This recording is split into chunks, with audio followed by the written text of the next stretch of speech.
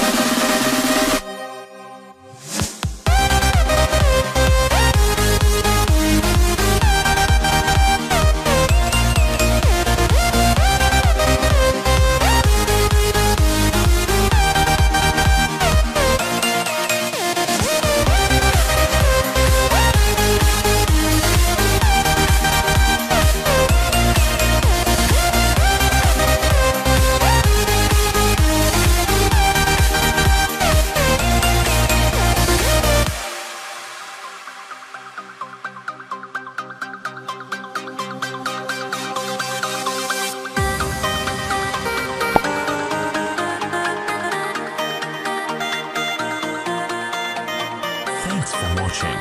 Don't forget to like, comment, share and subscribe to